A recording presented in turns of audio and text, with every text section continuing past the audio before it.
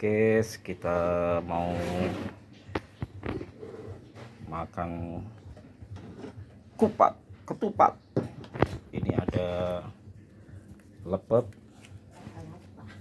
Ini ada ketupatnya. Ini ada sayurnya. Sayur apa ini? Ya sayurnya sayur kentang tahu campur guys. Ayam. Ini Sayur. spesial kiriman. Spesial ini guys kiriman guys dari orang tua guys di kampung. Potong dulu ini cara motongnya ya. Nah ini dia. Uh.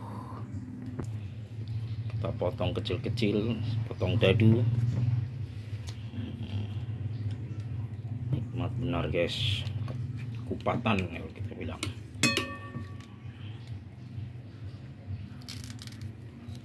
ini hampir sama dengan lontong. Tapi ini pakai janur kelapa daun kelapa muda.